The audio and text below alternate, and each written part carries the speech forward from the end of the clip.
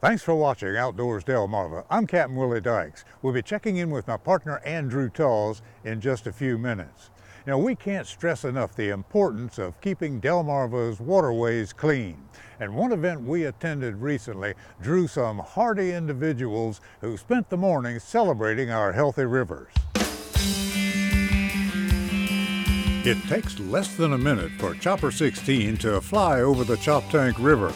But for 230 or so folks gathered at Sailwinds Park during a recent Saturday afternoon, it's going to take a little longer because they're going to cross the river by swimming it.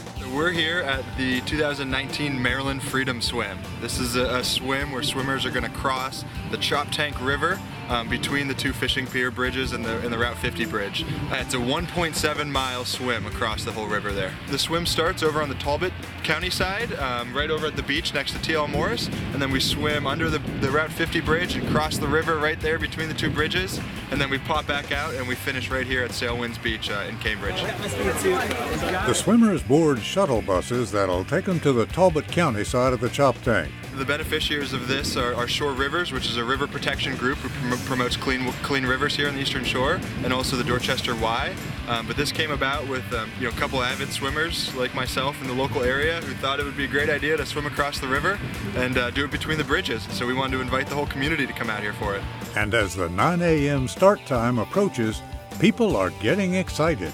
So I wanted to do it last year and it was canceled, so I'm very excited for this year. I've been wanting to do this for years. I just want to get it in and get done. Absolutely looking forward to it. Last year we were so disappointed it didn't happen because of the bacteria. Does it look a little intimidating or can you handle it? I can handle it. Absolutely. Ready to go. Have you ever swum a distance like this before? Yes. In fact, two weeks ago I swam it in the pool just to make sure I could. The water temp for today's swim is in the low 60s.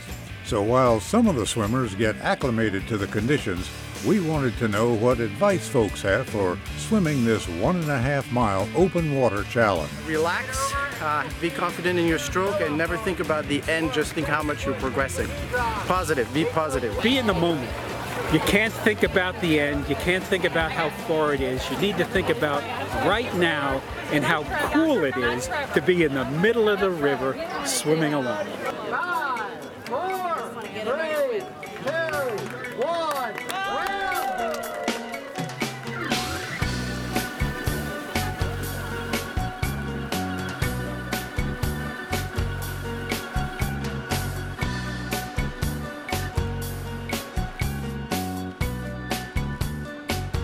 It could take a while. It, it, could take anywhere between, I think, uh, 45 minutes for the really fast people, uh, and then somewhere maybe closer to two hours for some of the other folks. You know, for the most part, we want to make sure that everyone stays clear within the, the in the swim course and doesn't drift um, with the tides anywhere. Uh, make sure all of our safety teams stay, stay safe and making sure everybody that gets in the water comes out of the water at the end too.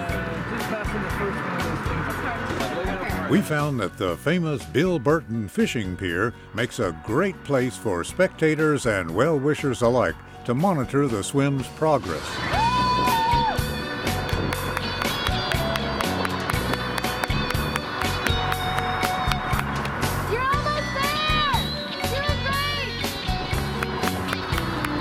Yeah, last year it was an unfortunate event. Um, we had 10 inches of rain fall before the swim event, and, and, as a result, the bacteria levels were so high in the river that it was not safe for swimmers to get in the water. So we had to cancel last year's event um, in consideration of the safety of the swimmers. And so, you know, we're really excited to be able to bring this back this year and have clean water to be able to swim in, a nice day, and a beautiful swim ahead of us. The first swimmers are out of the water in just over 38 minutes. I was with another guy who came in seven seconds after me. Um, we were racing the whole time. So. It's a bit choppy about like wind in the middle. That got really choppy. In the beginning it was okay. It's cold, but wetsuit helps. And for the rest, it's a chance to look back and reflect on what they just accomplished. It was perfect temperature. Not too, it can't be too hot because you're swimming so hard. Good. It's a great day for a swim. Around the end, it got really wavy, but it was pretty calm most of the way. You gotta make sure you breathe to the side, make sure the waves don't like hit you so you don't choke on that water. But perhaps the biggest takeaway from today is the necessity of keeping Delmarva's waterways pollution free. It's so beautiful to have all these people out here enjoying our waterways on the eastern shore, enjoying the Choptank River. Just the simplest thing you do on your own property can make a huge difference. You know, reducing what you put down on your lawns so it doesn't end up in our river here, so we can make sure that all these people here can continue to enjoy and recreate on our on our waterways. Get outdoors, Delmarva.